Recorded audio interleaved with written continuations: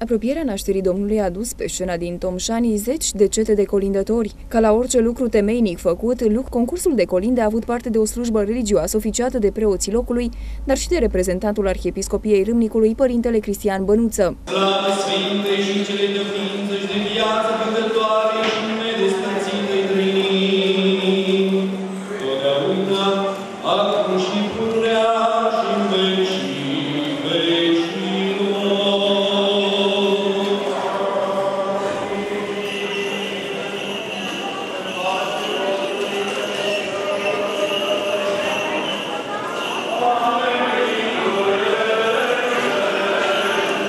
Concursul în sine s-a întins pe parcursul a 5 ore, fiecare dintre grupurile reprezentative străduindu-se să aducă în fața publicului larg variante originale.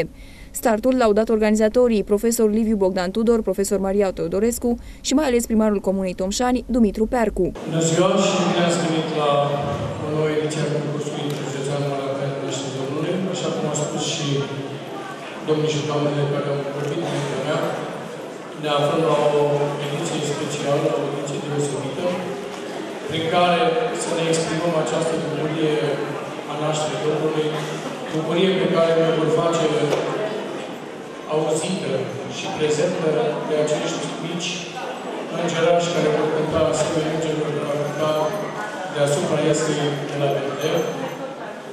Pentru că la nașterea Domnului toată creația a fost prezentă.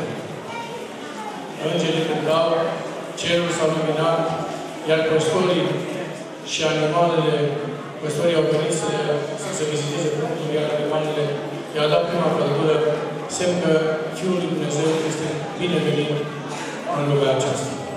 Mă bucur că școala a reușit să polarizeze uh, comunitatea locală și cum așa, după cum mi-a spus și uh, domnul profesor,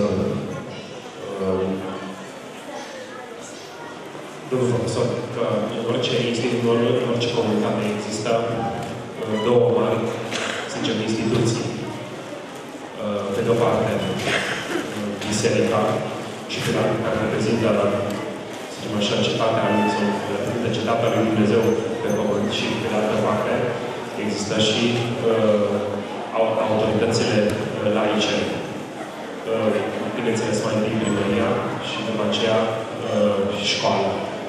Între cele două mari instituții există o strânsă, trebuie să există o strânsă legătură.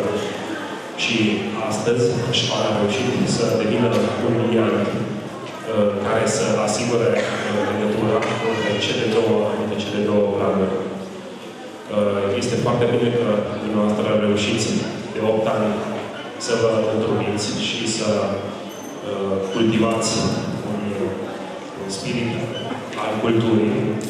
Că v-am primit și vă primim cu drag pe teritoriul comunei noastre de câte ori doriți la această activitate.